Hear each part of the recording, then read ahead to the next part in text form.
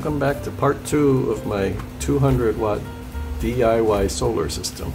My garage is now off-grid and uh, and in part one I showed you how I assembled and installed my eco-worthy roof racking system for my solar panels. And in this part, part two, I'm going to be showing the rest of the system, all the electrical components and the wiring and all that. Um, and hopefully you'll find it useful or entertaining. And a special shout out to Will Prowse of DIY Solar. A lot of the things that I put into my system I got from recommendations or discussions that I saw on his channel. So if you've not seen his channel before, I recommend you, you check it out.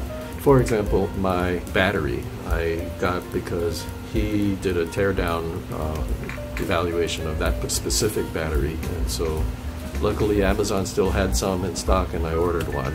Uh, but they now have a the same battery under a different name, and I looked at the fine print, and that the current model that's available is from the same factory. So I believe it's the same battery, uh, but I don't do teardowns like Will does, so I couldn't be sure. But anyway, um, I got that. I got a uh, power meter um, that I got as a result of his recommendation and review. Um, and so it's uh, my system, I think, came out pretty good. Please watch all the way through, and I think I might have one, maybe two more um, parts to this.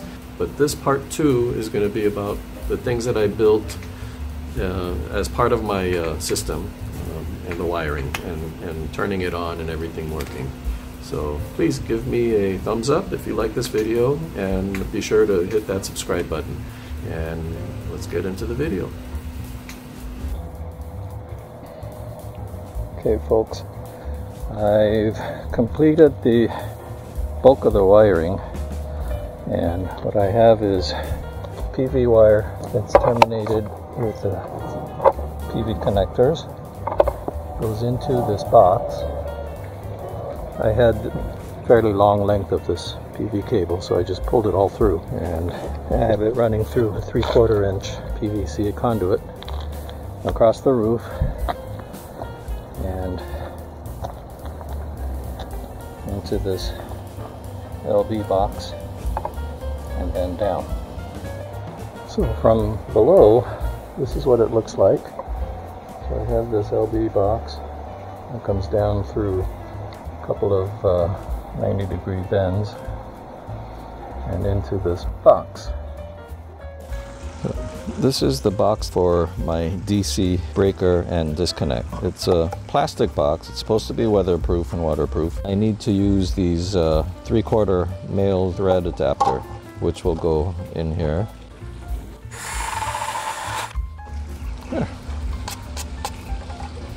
Lock nuts, and that's gonna go on like so.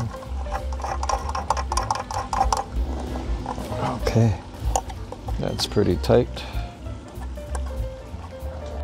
And in the box I have a 16 amp uh, breaker, DC breaker, because this is DC current that's flowing through here. And combined, they should not exceed about 10 amps. So I got a 16 amp just to be safe. It's mounted in a, a DIN mount uh, inside the box. And from the box, it goes down into the ground.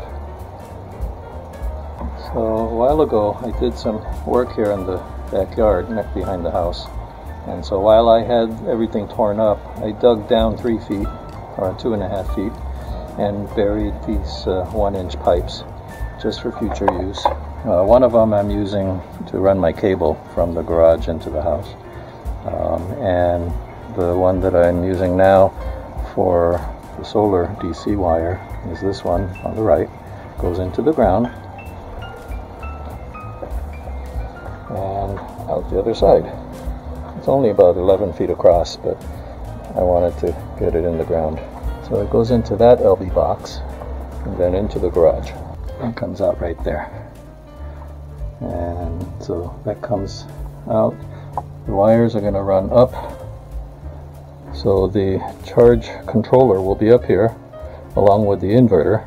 I'm going to have the battery on this shelf right there. Now I just need to get the solar modules put onto the rack.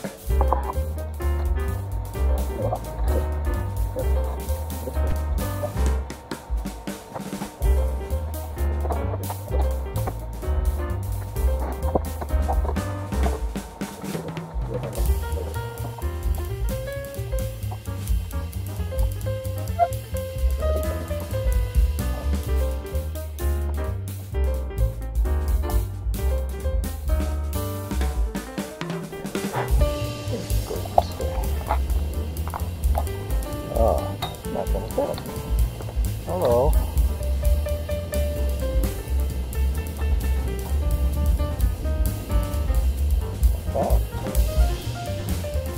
Mm, right. So I'm going to cut the rest of these. The first one did get cut to the right size and it works as I would like to have it work. And it fit just fine. So I'm going to cut the rest of these.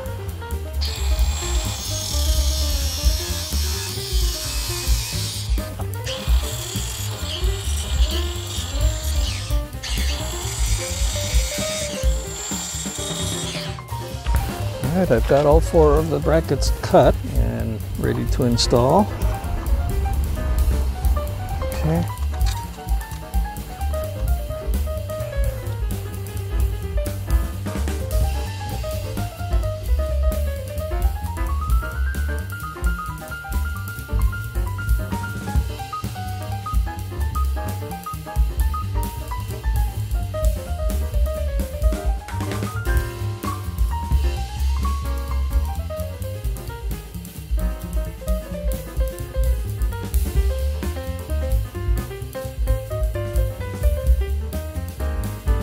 So I'm going to drill pilot holes at each cross.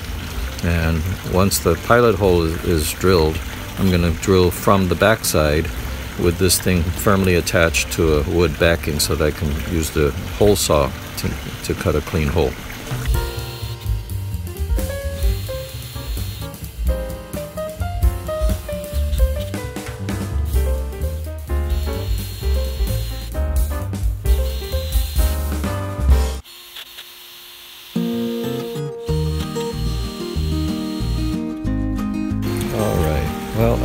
The holes all drilled.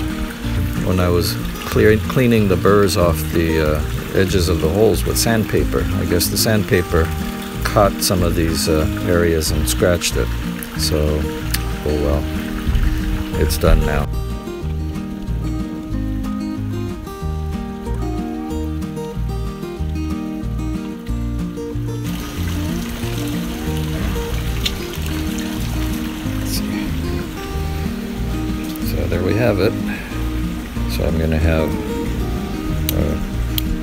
Switch for each bank, and each bank will have its own voltmeter and two double sets of quick charge 3.0 USB ports for charging up to eight devices at one time.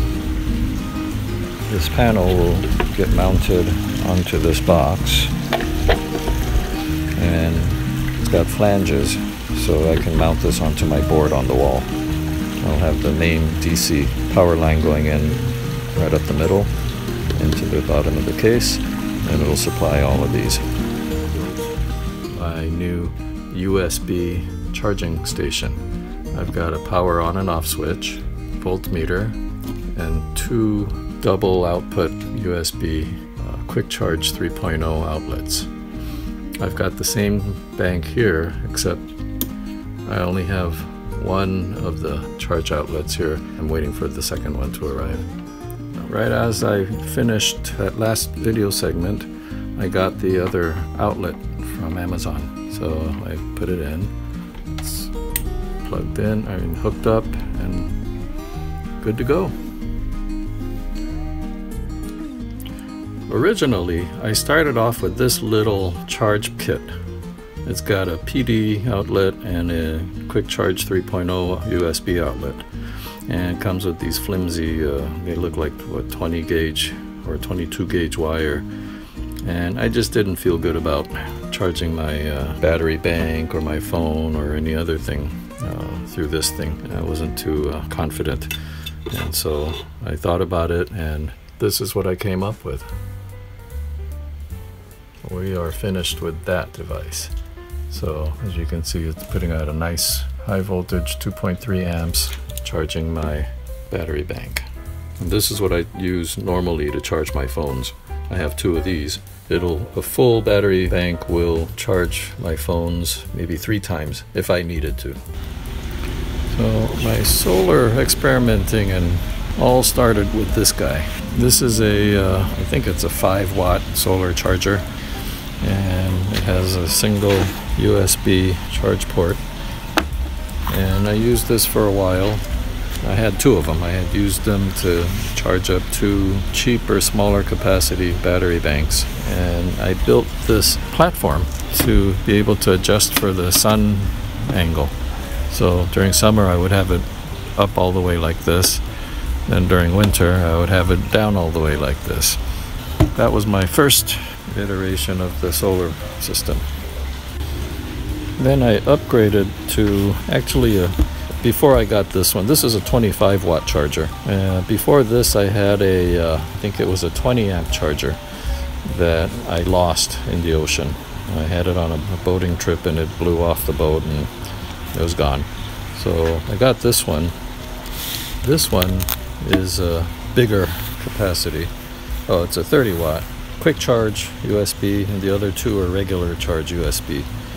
And I use this one to charge my both my power banks at once because it's higher power. And that served me for about a year. And then I decided well I'm having to go out and move this thing around every day. So I keep it under my patio cover during the night. Then I unfold it put it out in the sun in the morning and let things charge up and then I put it away. And I, I've been doing this now for about three years and I decided, well, it's finally time to do what I've always wanted to do was to tinker with a, a real solar system. Well, here's my battery. It's a Zooms lithium iron phosphate 100 amp hour battery. This is my wire from my solar panels. Goes up into the charge controller. And then the battery output, I have it all tied in right here on the back of my inverter. I've got battery cable coming from my battery and the other side comes from the charge controller. So the charge output from there goes and everything's connected together on the back posts of this inverter. I've also ordered two jumper blocks, one positive, one negative. They're going to go here or maybe this way and so I don't have to keep fiddling with the uh, connections on the back of the inverter.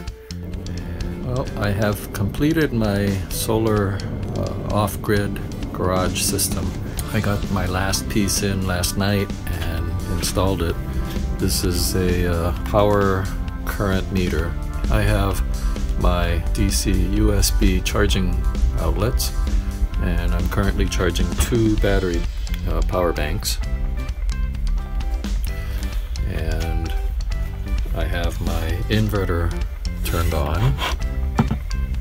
Oh, these are new too, by the way. Um, so they, they make it convenient to connect, disconnect, etc. Uh, when I first got the system, I just ended up putting the battery leads here as well as the charger leads. So I had two sets, and then when I got the uh, the cheap little USB uh, adapter, I also connected them in here and decided that was a little bit too much, uh, too cumbersome. So I went ahead and got these terminal blocks. My inverter is now connected up to two power strips.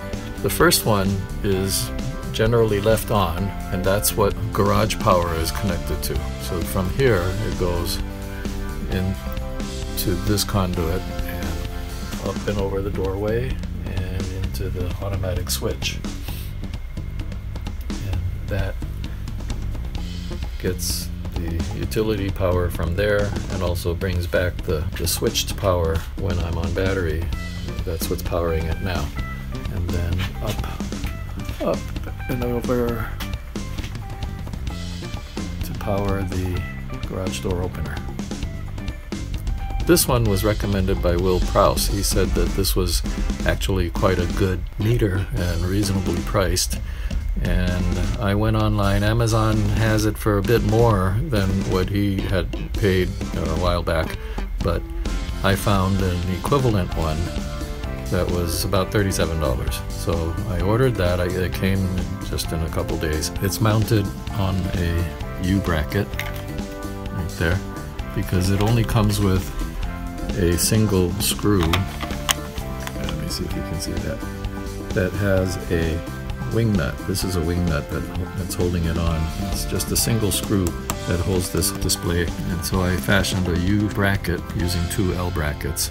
That gets plugged into the shunt and that shunt is in line of the negative battery lead. From here it goes through the shunt and out the bottom and that goes down to the battery. There's also a 12 volt power lead that powers the shunt sensor and that's connected through this white wire. I didn't have any red wire that size through here and onto the positive terminal block.